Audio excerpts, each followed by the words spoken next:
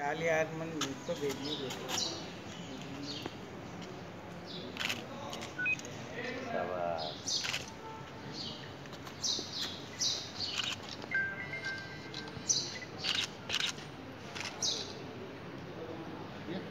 પાછો એક મિનિટ થોડો પાછા પાછો પાછો પાછો પાછો પાછો પાછો પાછા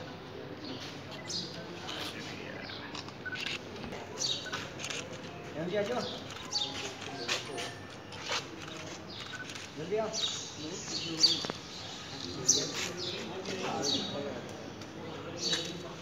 Đúng tuổi. Sát tuổi.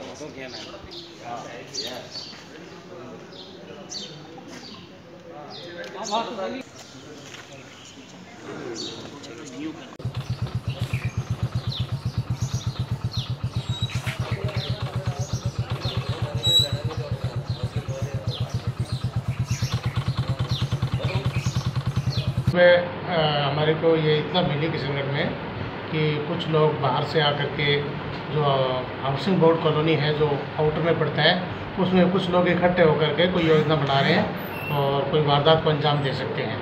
और बाहर के क्रिमिनल्स टाइप के लोग हैं। इस इतला को तस्दीक करने के लिए S H O Madanganj Gandhinagar S H O और किशनगढ़ एस एच ओ की टीम बनाकर उनको रवाना किया गया मौके पर। टीम के द्वारा वहाँ दबिश दी गई।